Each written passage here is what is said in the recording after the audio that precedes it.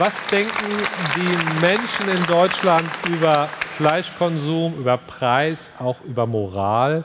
Das wollte die evangelische Kirche im Norddeutschen Rundfunk und die evangelische Zeitung wissen. Emnet hat das repräsentativ erfragt und hier sind die Ergebnisse. Fleisch soll vor allen Dingen billig sein.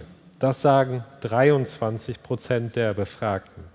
Fleisch aus artgerechter Tierhaltung darf deutlich mehr kosten. Das sagen 93 Prozent. Der Staat soll artgerechte Tierhaltung subventionieren. Das sagen 61 Prozent. Auf Fleisch ganz zu verzichten für ein Ende der Massentierhaltung, dazu sind 32 Prozent bereit.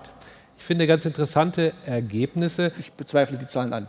Mhm. Zwischen Sagen und Tun ja, sind immer groß. Das ist eine Umfrage, da ja, haben Menschen was gesagt. Wenn das, das so wäre, ja. ich habe es gerade der Bläser gesagt, würden wir sofort umstellen und würden seine Fördermittel. Zurzeit laufen keine Fördermittel in Sachsen-Anhalt ab zur artgerechten Tierhaltung, weil sich keiner in der Richtung mehr wagt, dort tatsächlich größer zu investieren. Frau Seski zu den Zahlen. Ich glaube auch, dass die sozusagen geschönt sind. Aber ich finde das sympathisch, weil wir Menschen wollen einfach, wenn wir gefragt werden von jemandem, das besser dastehen, als wir sind. Ja? ja.